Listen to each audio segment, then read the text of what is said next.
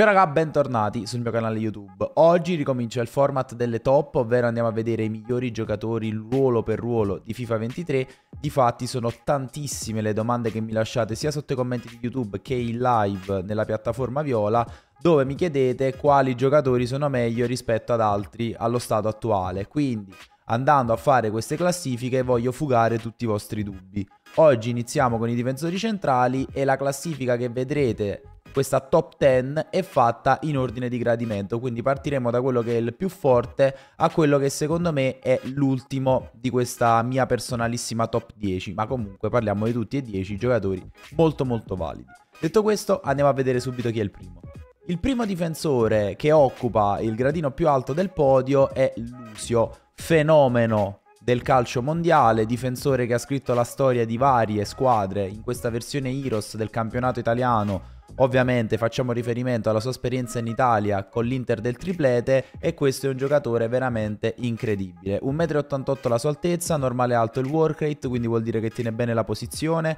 ma quello che mi fa impazzire è il suo body type, perché è un giocatore alto, spesso, che regge benissimo i contrasti quando deve spalleggiare gli avversari che vanno via e in particolar modo con quelli che sono gli attaccanti meta attualmente, quindi vari Holland, Cristiano Ronaldo, Mbappé, Ginola che sono giocatori anche oltre a essere veloci molto fisici, lui veramente e penso sia l'unico che non soffre, sempre molto pulito, non perde mai, non inciampa, quindi lo amo, veramente è stata una delle svolte all'interno della mia squadra. Andiamo a vedere le statistiche, velocità scatto 84 premiata dal suo stile di corsa lengthy, ovvero la corsa progressiva che va a sfruttare proprio quell'attributo lì. Ottimo anche il passaggio corto, utile in fase di impostazione. Buone le statistiche di dribbling, 73 di agilità e 87 di reattività lo rendono molto molto fluido con l'L2 quando si tratta di dover temporeggiare tanta roba alle statistiche difensive, spicca in particolare il 90 di intercettazione, il 92 di precisione testa il 91 di lettura difensiva che lo rende veramente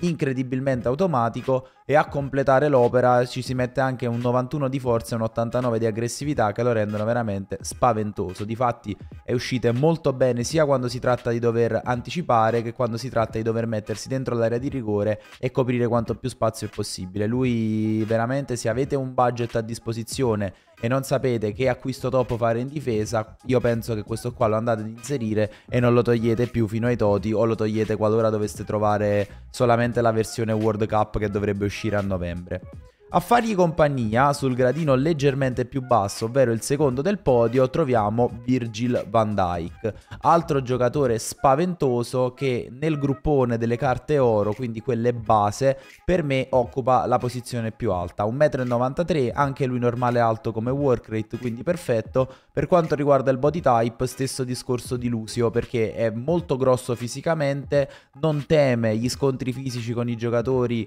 avversari, anzi li bullizza praticamente in maniera sistematica e anche lui grazie al suo stile di corsa lengthy praticamente ignora quel 68 di accelerazione a favore del 91 di velocità scatto che lo premia e in campo aperto lo fa essere veramente un qualcosa di incredibile perché recupera con quei gamboni praticamente chiunque. Anche per lui un discreto passaggio corto e a questo vi si accompagna anche un 86 di lungo che può fare sempre comodo.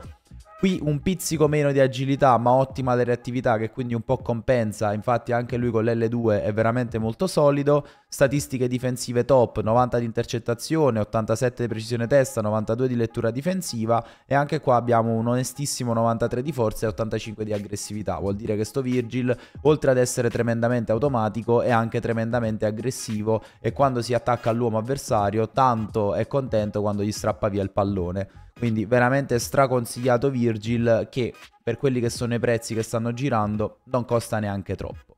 Al terzo posto andiamo a chiudere il podio con Eder Militao, giocatore di 1,86 m, work rate normale normale, non preoccupatevi non è un problema il fatto che eh, non abbia alto in difesa perché comunque la posizione la tiene bene, con la differenza che con lui magari potete uscire anche un pizzichino più alto perché alle volte tenderà a ritrovarsi in posizione leggermente più avanzata. Per quanto riguarda i dettagli delle sue statistiche abbiamo un ottimo 88 di velocità scatto che potete andare a premiare con l'applicazione dello stile d'intesa ancora in maniera tale che la sua corsa da controlled diventerà anche in questo caso lenti favorendo il recupero in campo aperto sugli avversari. Anche qua dei buoni passaggi, 70 di agilità e 85 di reattività, top per l'utilizzo di L2, statistiche difensive che rispetto ai suoi due compagni di podio non sono così alte, ma sono di tutto rispetto, visto che abbiamo 86 di intercetto, 85 di lettura, che sono le cose che, che ci interessano di più, e poi abbiamo un 84 di aggressività e la nota dolente del 79 di forza, perché purtroppo alcune volte questo Militao va a perdere un po' troppo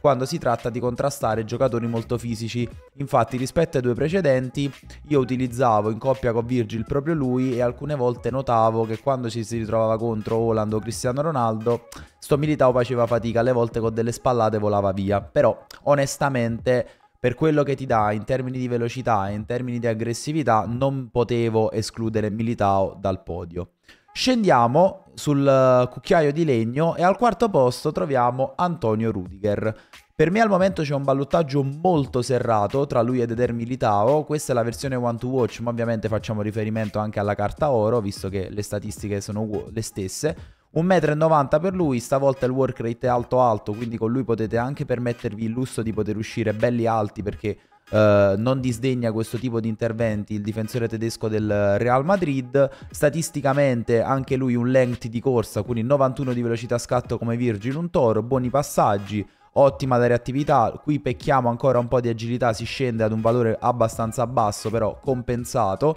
l'equilibrio per quanto riguarda i difensori non è eccessivamente un problema perché viene compensato dalla forza come in questo caso 90, 92 l'aggressività, ottime le stats difensive, 84 di intercetto, 88 di lettura difensiva, fanno sì che Rudiger per me si giochi il terzo posto un po' con, per, con Militao, ma per il mio gusto personale al momento gli preferisco il brasiliano. Al quinto posto un altro giocatore che quest'anno ha cambiato camiseta che è Koulibaly che praticamente prende il posto di Rudiger al Chelsea 1,87 m normale alto che è praticamente il work rate perfetto per i difensori centrali, stile di corsa lenti, velocità scatto 88, buon passaggio corto, reattività 83, anche qua pecca un po' di agilità ma con l'L2 si muove comunque discretamente bene, ottime stats difensive, forza altissima, con l'aggressività siamo pelo pelo, però Kalidou secondo me è veramente top quest'anno perché anche qua abbiamo un fisico veramente possente che non gli fa perdere praticamente mai contrasti con gli avversari molto fisici.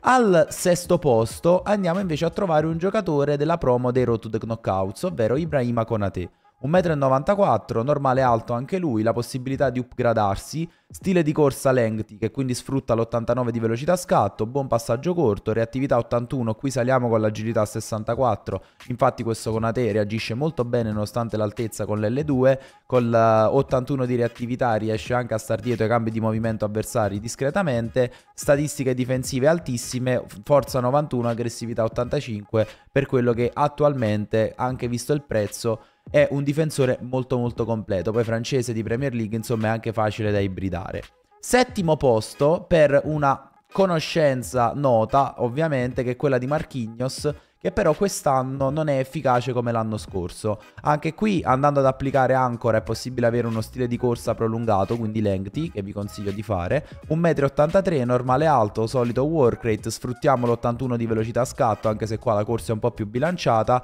Ottimi passaggi, saliamo di agilità, di reattività con 88-68, stats difensive altissime, pecchiamo però in forza ed aggressività. Ed è proprio questo che mi fa storcere il naso perché quest'anno sto Marquinhos rischia di essere veramente preso a pallate dai vari Holland Cristiano Ronaldo che gli danno fastidio, anche Mbappé che ha un baricentro basso più equilibrio rischia di essere un problema per questo Marquinhos.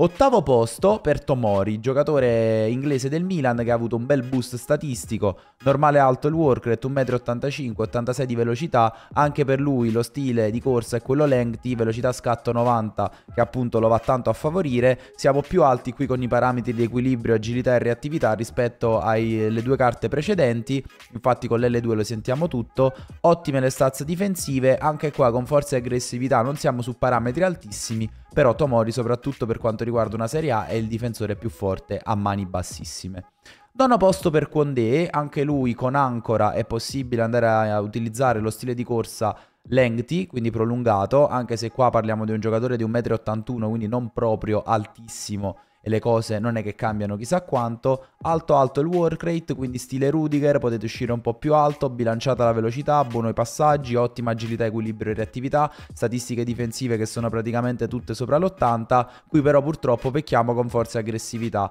quindi io ve lo vado a inserire in questa classifica perché comunque per quanto riguarda una liga è ottimo, però purtroppo pecca un po' quando si ritrova avversari molto fisici contro. Chiudiamo questa classifica con Arauco, sorpresa di quest'anno, quello che secondo me è il Kim Bempe dell'anno scorso. 1,92 m, normale alto, già stile di corsa perfetto che sfrutta l'84 di velocità scatto. Qui abbiamo equilibrio e agilità inferiori rispetto a carte di questa classifica, però buona reattività. Statistiche difensive onestissime, 81 intercetto, 82 di lettura van bene, 86 di forza, 84 di aggressività, non sono un problema visto che in questo caso parliamo di un giocatore di 1,92 m per quello che costa un buggatone praticamente che io vi consiglio se dovete andare a mettere magari un difensore un po' più cheap accoppiato ad uno dei giocatori che vi ho fatto vedere prima. Ragazzi per questa prima top 10 è tutto, fatemi sapere se avete provato qualcuno di questi giocatori, se avete qualche altro nome che avreste voluto vedere all'interno di questa classifica, a me non resta altro che augurarvi una buona giornata, vi aspetto tutti i giorni live sulla piattaforma Viola, un salutone a Riberoschi, ciao!